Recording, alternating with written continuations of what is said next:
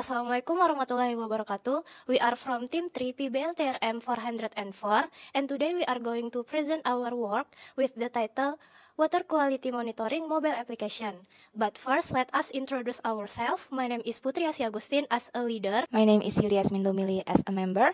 My name is uh, Muhammad Zaikar Ramadhani as a member. My name is Adrian Zovaldi as a member. My name is Krishnarian Dita Said as a member. Okay, so this is our project manager. Her name is Miss Widya Putri Ramadhani STRCom. Is this is our team. So for project description, Betta Care is an application designed specifically for betta fish enthusiasts. Betta Care is an IoT-based mobile application which has the main function to monitoring water quality of betta fish aquarium in real time. To measure the water quality of the aquarium, this application uses IoT devices to measure water acidity, water turbidity, and water temperature. If these parameters don't meet the preset targets, the application will send notification indicating poor water quality suggest solution for users to improve it. Betta Care is designed to be used on Android smartphones so that it can be used by everyone.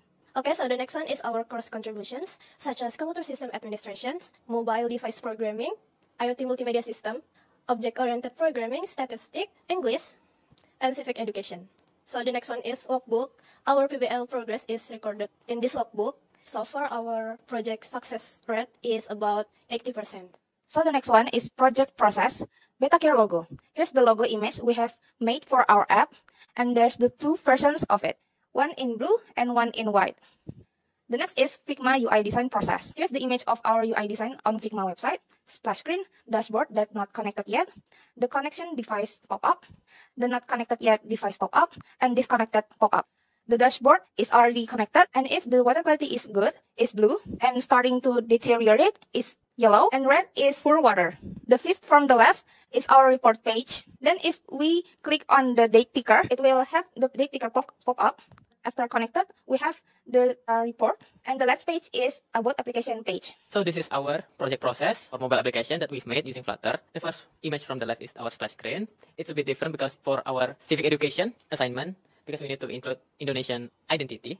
The second image from the left is our dashboard if the device is not connected. We've made it as similar as possible with our Figma design. And then the third image from the left is the notification if the user press the power button when they haven't connected their IoT device. The fourth page from the left is our connect device modal form. The user can input their unique IoT device code and connect their IoT device. The last image is still mobile application IoT device form, but if the user input the code incorrect input, it will show a warning. Okay, so this is when the user has connected their IoT device. And the first page from the left is the dashboard. If the user has connected their IoT device, the connect button will turn to blue. If the user want to turn on their IoT device, they can press the power button and it will turn to green. Also, if the water quality is good, the water indicator widget will stay blue. But if it starts to deteriorate, it will turn to yellow. And if it's already bad, it will be red. The solution will also show if the water starts to deteriorate or already bad. And the last image right there is a warning if the user want to connect their IoT device. The warning can show if the user press on the disconnect button on the top right of the page. This is our history page or we call it laporan page, the button. And then this is a data table. If the user hasn't connect their IoT device, it will not show any data. But if the user connects their device, it will show the data. The user can also press the button and show a date picker and the user can pick any dates they want to see their recorded water data at that time. And the last page is about application or tentang aplikasi. It's about the app is and the developer profiles. Let me explain about uh, project process IoT device.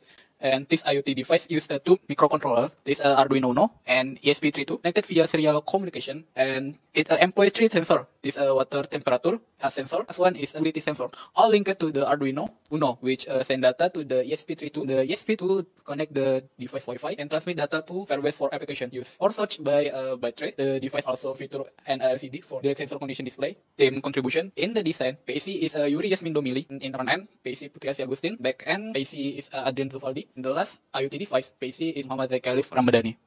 This is obstacles and solution. First, difficulties in implementing our Figma UI design into Flutter. And the solution is learn some tutorial from YouTube and use Flutter package. Second obstacle, integrating hardware was challenging due to IoT device being out of stock in stores and already bought by other teams on campus. The solution is both the required sensor and board the remaining device from campus. Third obstacles, experiment with the pH sensor and ESP32 microcontroller has VCC Voltec issue and the solution is adjusting the VCC Voltec on the pH sensors BNC module fix the pH calculation in accordance with the ESP32 microcontroller. This is project output, PBL product, PBL final report, manual book, demo video, poster, HKI document, competition, proposal, final presentation video. This is our poster and this is our documentation.